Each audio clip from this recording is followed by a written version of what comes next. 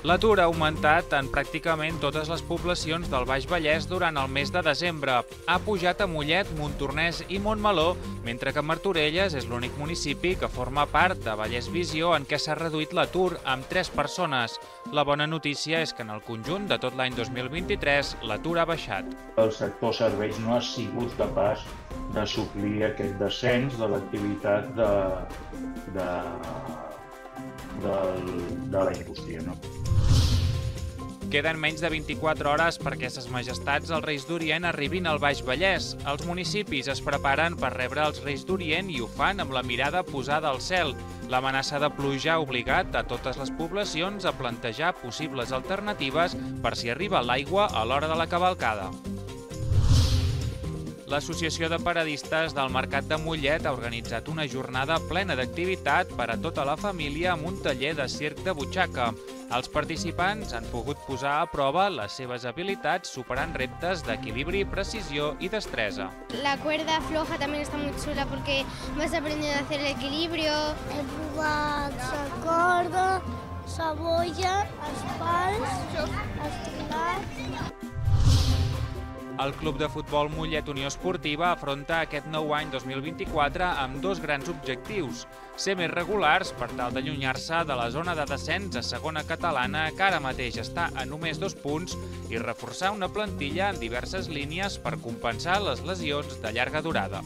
Hem passat una mica de passarells durant aquesta primera volta i una mica d'irregularitat i espero que de cara a la segona doncs, a, a veure si també podem incorporar algun tipus de jugador que ens pugui ajudar Hola, què tal? Ja és punteria. I per què no dir-ho? Ja és mala sort que durant les cavalcades al Baix Vallès acabarà plovent.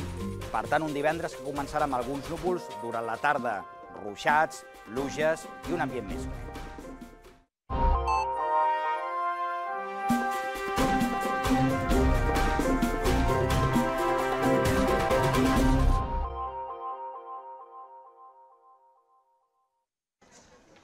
L'atur ha augmentat en pràcticament totes les poblacions del Baix Vallès durant el darrer mes del 2023. Mollet té 38 persones més que no pas al mes de novembre, Montornès 21 i Montmeló 12.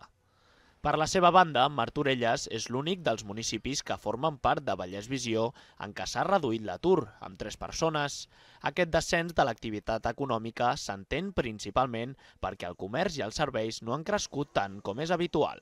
Durant aquestes festes, el sector industrial eh, baixa la seva activitat. Per contra, el sector serveis augmenta, sobretot el comerç, altres parts del sector serveis no és així, i en tot cas el que s'ha donat, eh, penso, és que el sector serveis no ha sigut capaç de suplir aquest descens de l'activitat de, de, de, de la indústria. No? La bona notícia és que en el conjunt de tot l'any 2023 l'atur ha baixat tant al conjunt del Vallès Oriental com a les poblacions del Baix Vallès. Tot i així, hi ha tres dels municipis que han tancat l'any amb una taxa d'atur per sobre del 10%. A Mollet és del 10,45%, a Montornès del 10,37% i a Martorelles lleugerament per sobre del 10%. Finalment, a Montmeló és del 8,82%. Dins de la comarca del Vallès Oriental, alguns d'aquests percentatges són dels més alts, és així, no? En tot cas, els percentatges, tot i que és cert el que em deies, és així, són preocupants, també tenen un element de relativitat, no? perquè els percentatges van en, en relació a la població activa. De cara al 2024, des dels sindicats es marquen com a objectiu intentar millorar la inversió en el sector industrial per compensar el tancament d'empreses grans a la comarca com Amazon, fomentar la formació permanent per recol·locar les persones majors de 45 anys que estan a l'atur i millorar les condicions econòmiques dels joves, que troben feines però en situacions de vulnerabilitat.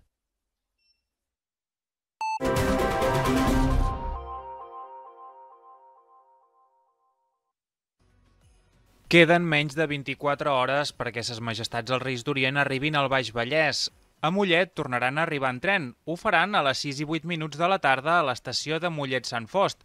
Des d'allà, la comitiva reial recorrerà els carrers més cèntrics de la ciutat fins a la plaça Major, on l'alcaldessa rebrà ses majestats i sis infants faran entrega de les claus de la ciutat als Reis Mags. Allà mateix, el rei Melcior dirigirà unes paraules als assistents. Aquest cop la cavalcada serà accessible. Tindrà un espai a l'Avinguda Llibertat amb el carrer Lluís Duran, just al costat de la parada de taxis, reservat per a persones amb mobilitat reduïda. I també serà inclusiva perquè el tram que va de Gaietà Vínzia fins a la farmàcia Vilaseca es farà sense música ni llums per a persones amb neurodiversitats. Si plou i no es pot fer el recorregut, ses majestats es dirigiran directament al Mercat Vell per fer la rebuda als infants. A Montornès, els Reis arribaran a les 5 de la tarda al carrer del Vallès, davant del centre infantil La Peixera. A partir d'allà, ses majestats recorreran diversos carrers del municipi per acabar amb la màgica recepció reial a la carpa polivalent al Sorralet, on els nens i nenes podran entregar-los les seves cartes. A dos quarts de set del vespre rebran la clau de totes les cases de la mà de l'alcalde i oferiran el seu discurs. En cas que la pluja impedeixi fer la cavalcada, els reis es dirigiran directament al Sorralet per fer la rebuda als infants. A Montmeló, la cavalcada sortirà a les 6 del vespre des de l'Observatori Reial instal·lat a la Torreta.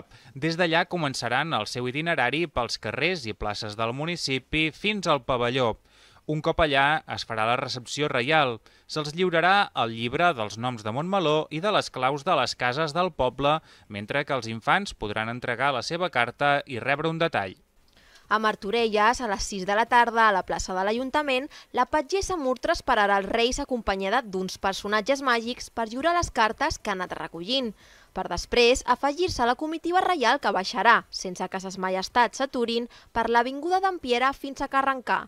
Acte seguit, els Reis d'Orient pujaran al balcó de la vinya perquè l'alcalde els faci entrega de la clau màgica i a dos quarts de vuit s'obrirà el campament reial. Finalment, a partir de les 9, els patges reials visitaran les cases d'aquelles famílies que ho han sol·licitat.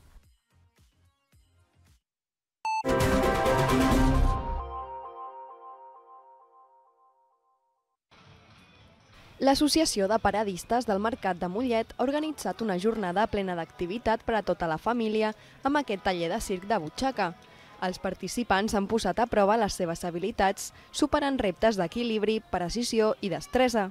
Un dels objectius d'aquesta proposta ha estat fer participar a tothom i demostrar que el circ és molt més que gaudir d'un atractiu espectacle. Uf, el circ per mi és passió, alegria, moviment, valors, perquè a través del circ treballem molts valors. A mi m'agrada molt ajuntar el circ amb la part social, amb l'educació, perquè amb el circ treballem doncs, això, la frustració, la constància, el posar-te un repte, superar-te cada dia y sempre anar una miqueta més enllà i sobretot passar-t'ho bé. Pues es muy divertida y me divierto mucho eh, haciendo las actividades que hacen en Mollet eh, y esto es muy divertido y está muy chulo. Bien, me parece bien y además es una buena actividad para los niños pequeños. A través del joc i l'experimentació, tant infants com adults han pogut fer un tast d'algunes de les disciplines d'aquesta art escènica. Les famílies han pogut descobrir i provar el plat xinès o el diàbolo, per exemple, uns clàssics i divertits jocs de malabars. Els més atrevits també han provat el seu equilibri a aquesta corda fluixa o a la bola d'equilibri, un dels atractius del taller que ha estat tot un repte i que més ha agradat entre els més petits. La bola esa gigante de, de está dura y tienes que ir eh, caminando a poco a poco para que no te caigas. Lo he hecho todo y me ha gustado mucho. La verdad que la cuerda floja también está muy chula porque vas aprendiendo a hacer el equilibrio, eh, la bola también mola mucho porque tienes que aprender a estar recto y que no, que no te caigas. He provat la corda, la boia, els pals, els pilars, moltes coses que m'han fet aprendre molt. Amb aquest tastet de circ, les famílies han pogut gaudir d'una jornada diferent al Mercat de Mollet.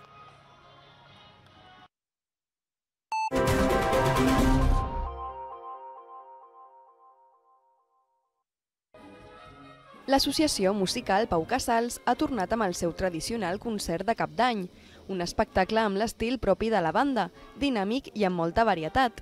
Prop de 30 músics han omplert el mercat vell d'entusiasme, ritme i il·lusió per acomiadar l'any de la millor manera.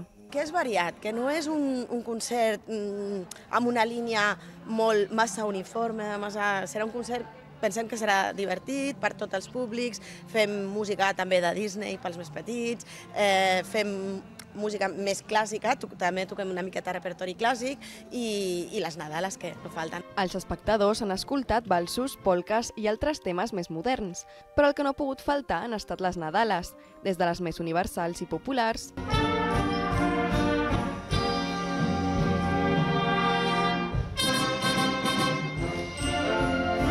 fins les més tradicionals de casa nostra, com aquesta.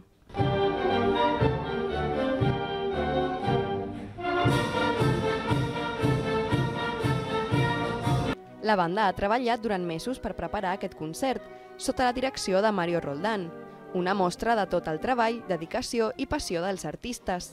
A mi el que més m'agrada és eh, tota la passió que li fico, preparant-lo i després veure que això es veu reflectit en com li ha agradat a la gent, com ho està gaudint durant el concert, no sé, és una que m'apassiona molt i és, crec que és el punt que més m'agrada de fer aquests concerts. Un concert per a tota la família, que ha estat ple d'emotivitat i de la màgia de Nadal.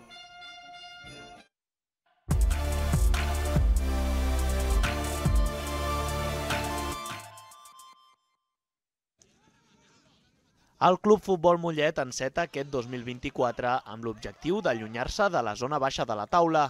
Ara mateix els d'Albert Càmera són descens amb 16 punts, només dos punts per sobre del descens a segona catalana. Lesions de llarga durada, com les de Cito o Santiago, han deixat un buit a la plantilla. Per aquest motiu, l'equip tècnic espera poder reforçar l'equip amb diverses incorporacions, en línies com la porteria, la defensa i l'atac. Vam apostar per un equip jove, un equip molt nou, 22 fitxatges, i a partir d'aquí, els equips tan nous, hi ha que anar-los variant en, en funció d'aquelles coses que no t'estan funcionant, no? I, i bueno, esperem que, que, bueno, que aquests dies de Nadal eh, vinguin, vinguin els Reis. L'inici de temporada dels mulletans ha estat irregular, una dinàmica que els blanquivermells volen millorar de cara a la segona volta. Així tot, els jugadors confien tant en la qualitat i el compromís dels seus companys com en la feina de l'estaf. És un molt bon equip i a partir d'aquí ens tenim que quedar amb això. No, i no podem pensar de... i si haguéssim fet aquests tres punts i si haguéssim eh, guanyat aquell partit o si haguéssim empatat a l'últim minut, ara ja no hi podem fer res. Queda molt. Jo penso que, que donar ànims a, a l'estaf, sobretot que treballen amb nosaltres i estan amb nosaltres el dia a dia i amb tots els jugadors perquè, perquè remin, perquè remin com fem tots. I a partir d'aquí jo penso que sortirà. Els d'Albert Càmera ja han tornat a la feina amb la vista posada en el partit de Lliga contra el Banyoles del dia 14 de gener. Abans, però, els mulletans disputaran aquest diumenge un partit amistós al camp del Club Futbol Martorelles de segona catalana.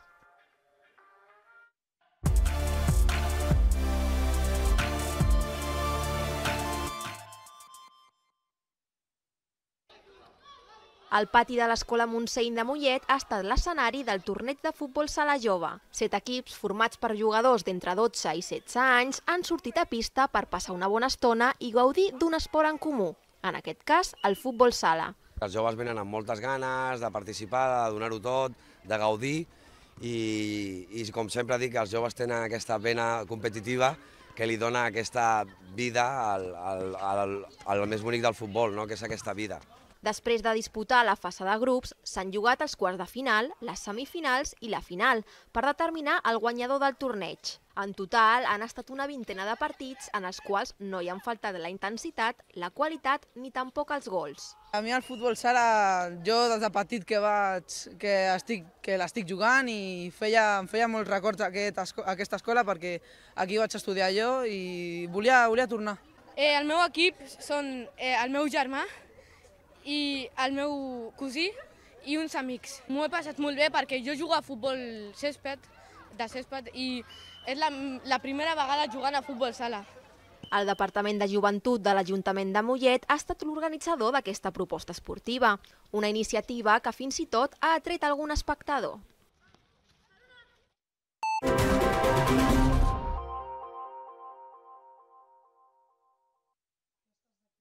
Els personatges que han tret pel·lícula durant el 2023, com la Patrulla Canina o la Barbie, figuren entre les joguines més assitjades en aquesta campanya de Nadal per part dels més petits.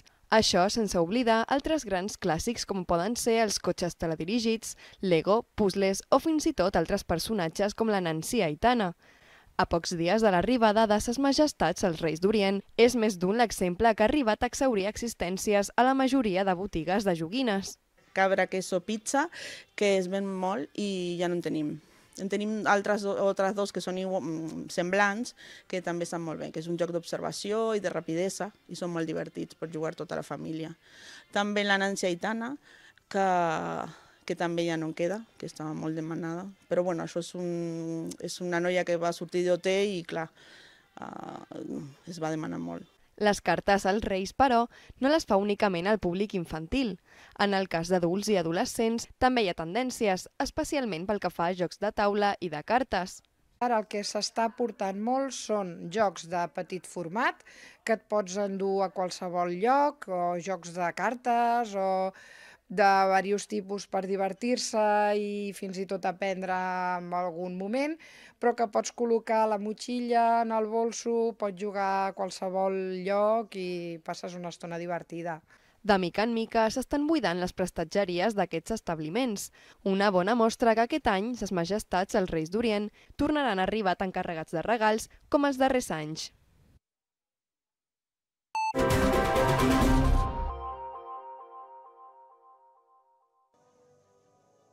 Els Reis Mags estan a punt d'arribar a les cases de tots els nens i nenes i és per aquest motiu que, juntament amb els seus ajudants, han instal·lat al Centre Cultural La Torreta el campament d'observació de l'Estel d'Orient que es podrà visitar del 2 al 4 de gener. Doncs avui obre la porta a l'Observatori Reial de, de Montmeló i avui el que fem és posar en marxa tot un seguit d'activitats aquí a la, a la Torreta, eh, des de l'Observatori a la Sala Polivalent, com a tallers, com també eh, els nens i nenes podran vindre a veure veure diferents elements eh, decoratius i fer-se fotos aquí al jardí.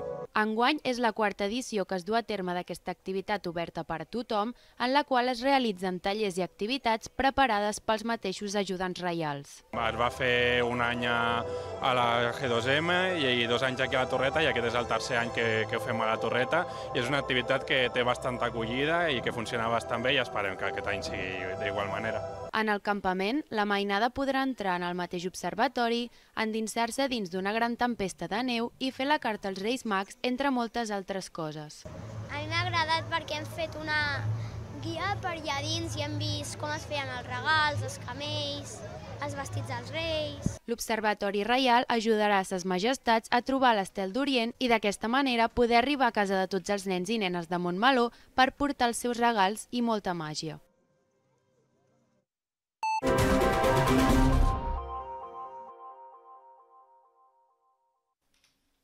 L'Ainoa ha sigut la primera baixvallesana nascuda aquest 2024. Ha nascut el dia 1 de gener, quan faltaven dos minuts per les 11 del matí a l'Hospital de Mollet. Els seus pares, la Laura i en Mario, han rebut amb il·lusió la notícia que fos la primera en néixer a la ciutat.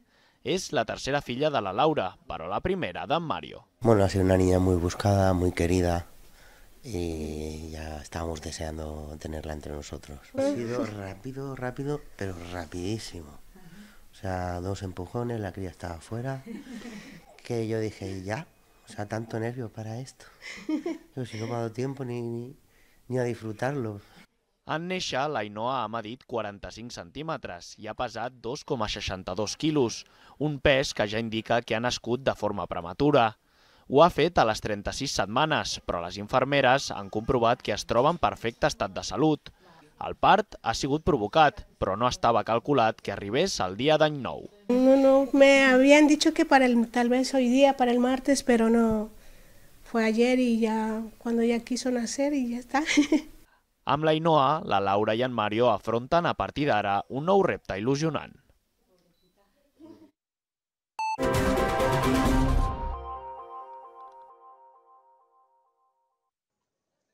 Jugar a bàsquet hauria de ser una activitat normalitzada tant per a nois com per a noies. Tot i així, no ho és per a tothom. Encara hi ha llocs al món que l'esport no està gens normalitzat entre noies i, per tant, es pot utilitzar com a eina de reivindicació. És el cas de la campanya solidària Nenes Valentes que la Bacus està fent des de finals de novembre per ajudar un grup de nenes del Líban. Que són unes nenes que estan en un camp de refugiats a Shatila, al Líban, i que després de que la periodista Txell Feixas va publicar el seu llibre Aliades, Abacus va pensar de fer una campanya per donar suport real a aquestes nenes en una societat masclista, en una societat plena de dificultats per les nenes. En el marc d'aquesta campanya i amb la col·laboració del Club Bàsquet Mollet, l'Abacus ha tret una cistella i pilotes a fora al carrer perquè tothom qui vulgui pugui jugar a bàsquet i col·laborar amb la campanya. Per a elles, el bàsquet és una via de reivindicació i per això, el mes de març, l'Abacus les portarà a Catalunya al pavelló olímpic de Badalona per fer una jornada conjunta amb la qual esperen omplir el pavelló.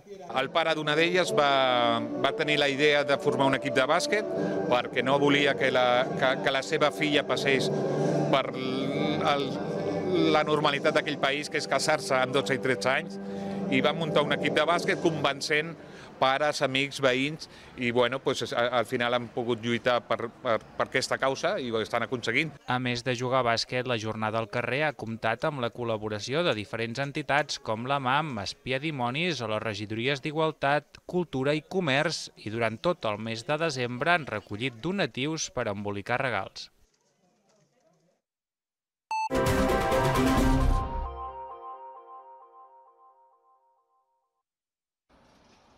L'any 2023 s'ha tancat amb 12 víctimes mortals a les carreteres del Vallès Oriental.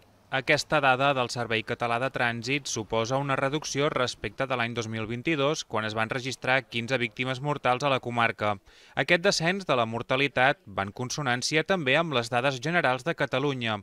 El 2023 s'ha tancat amb 152 persones mortes a la xarxa viària de Catalunya, el que implica una reducció del 5% respecte del 2022 i del 13% en comparació al 2019.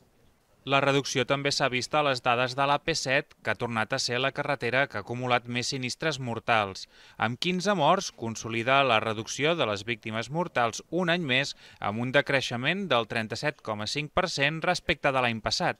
Les dades també ensenyen que quasi la meitat de les víctimes a tot Catalunya, un 45%, són de col·lectius vulnerables a la carretera, com per exemple 53 motoristes, 12 vianants i 4 ciclistes. Pel que fa a les víctimes, 105 eren conductors i 34 passatgers. Per gènere, un 80% de les persones mortes han sigut homes, per edats, la franja més afectada ha sigut la de 35 als 44 anys, amb 29 víctimes en total, però la franja dels 45 als 54 anys és la que més ha incrementat amb un 29%.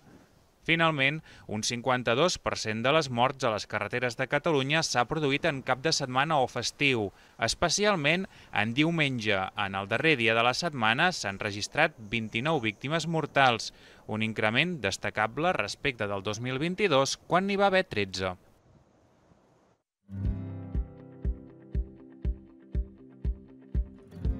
Al dia de les cavalcades veurem un exemple de tapadura del que és allò que mai plou a gust de tothom. Hola, què tal? De fet, durant les cavalcades acabarà plovent a molts indrets, sobretot a les comarques de Barcelona i en alguns indrets de Lleida. Per tant, ja és mala sort que ens cal molta pluja, però potser no ens convé que caigui un dia tan assenyalat i que doncs, desllueixi la festa, sobretot de la canalla. Ja diem de partida, no mateu el missatger, simplement nosaltres fem el diagnòstic de com està l'atmosfera, fem com de metges. I, de fet, al llarg de les properes hores anirem tenint ja cada vegada més núvols. Avui han estat abundants estones aquests nuvolots, han arribat a deixar alguns plogims i en aquests moments comença ja a animar-se una mica aquesta pluja, que és feble, a les comarques de l'Ebre i de Ponent. De fet, al llarg d'aquesta nit i matinada acabarà plovent a tot arreu.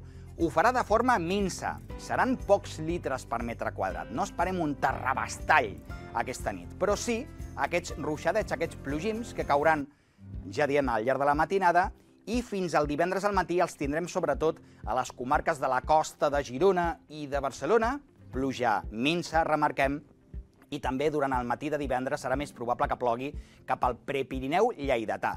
Alguna nevadeta intermitent, nevarà de moment poc, en el cas de l'Alt Pirineu, i començarà a entrar ja el vent de mestral que s'endurà els núvols de moment a les comarques de l'Ebre. Això el divendres al matí, amb un ambient fresquet. Pel que fa a la tarda, per tant, cavalcades. El cel es taparà a moltes comarques. De fet, serà una tarda i vespre, ja de nit, que acabaran sent de temps molt rúfol a gran part del país. Plourà molt poc a Girona, on entrarà el vent de tramuntana amb ganes cap a l'Empordà, fent que la sensació sigui de fred. També les comarques de Tarragona tindran núvols, però poca pluja, i aquí amb molt de vent ja, cap a les comarques de l'Ebre. I en canvi, les comarques que estan entre la Catalunya central i sobretot la demarcació de Barcelona tindran pluja. La més abundant cap al Maresme, al Vallès Oriental i també a la selva, a l'extrem sud de Girona. I una bona nevada, la que esperem ja, cap a l'Alt Pirineu i també al Montseny, cota de 1.200-1.300 metres. I al cap de setmana, doncs, se'n va aquesta pluja i el que quedarà és una nevada destacable a l'Alt Pirineu. També un ambient bastant frescal, amb temperatures doncs, que de dia passaran poc dels 12-13 graus, i mireu, a destacar el cap de setmana que al Pirineu, a l'Empordà i a les Terres de l'Ebre el vent serà molt fort. Que vagi molt bé.